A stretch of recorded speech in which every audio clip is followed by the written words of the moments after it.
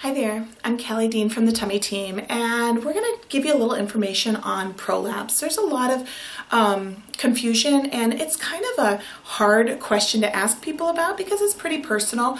We're going to talk specifically about pelvic prolapse, um, things related to your pelvic floor, and as you may know, your pelvic floor is a basket-like group of muscles that support your organs and it's basically the floor of your core. The tummy team works on the corset. The floor of your core, core is your pelvic floor and that helps support all of the pelvic organs. So your bladder, in women, your uterus, and in um, and your intestinal tract, your rectum.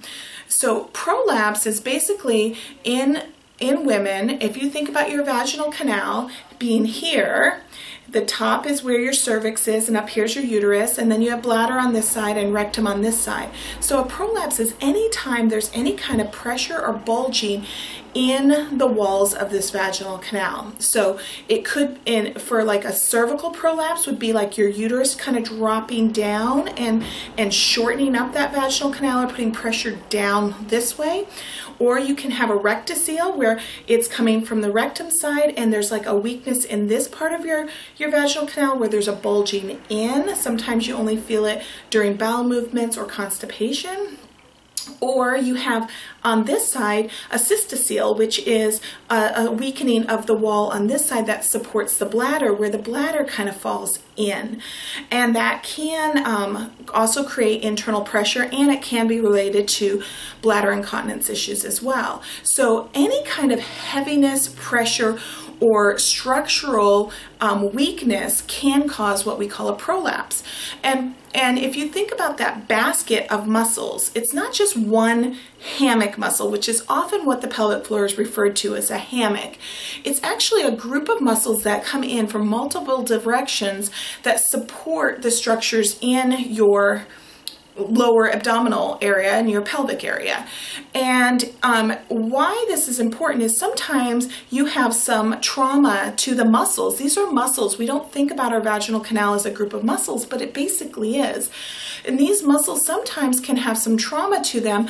Um, a lot of times it's with childbirth. As you can imagine with um, a baby going through the birth canal, sometimes it doesn't come out like a cylinder. You know, there's a lot of bumps and curves that can cause some trauma to more to one side of the the vaginal canal more than the other side and if that's not um, rectified or or corrected then our body starts to compensate for that muscle imbalance and then one side gets tighter and maybe one side gets weaker and then we have these structural deficits.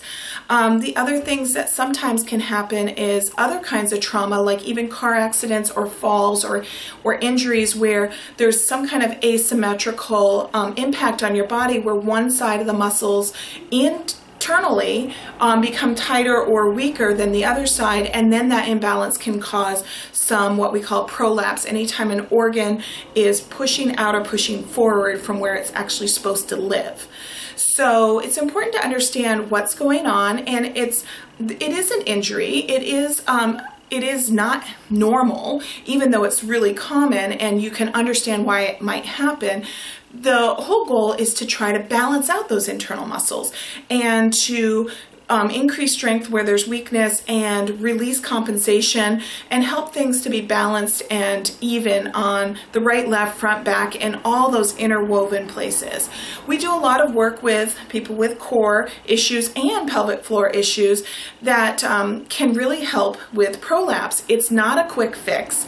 It's a systematic approach to starting to be aware and to um, figure out what's going on and how to balance out those muscles. So I hope that gives you a better understanding of what pelvic prolapse is and um, hopefully gives you a little bit of hope that there are ways to fix it. It's, um, like I said, it's not a quick fix, but it is possible and it's important. So hopefully that gives you some better information. There's more information at thetummyteam.com.